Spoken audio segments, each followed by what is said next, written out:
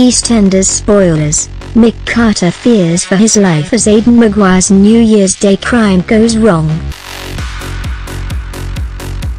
Mick Carter is certainly going to remember the start of 2018 even though he fears he may not survive it when his role in Aidan Maguire's criminal heist goes badly wrong and leaves him in the firing line in EastEnders.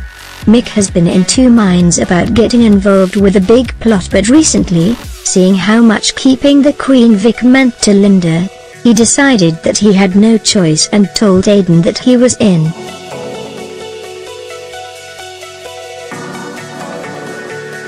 An extended New Year's Day episode sees Mick along with Phil Mitchell, Vincent Hubbard, Keanu Taylor and Billy Mitchell put everything into place. But Shirley, worried about what her son is becoming involved in, intervenes and locks him in the barrel cellar. Mick is thrown into a complete panic, terrified that he isn't going to be at his spot for the start of the heist and when he is a no-show, Aidan is enraged and grabs his gun, making off to confront Mick.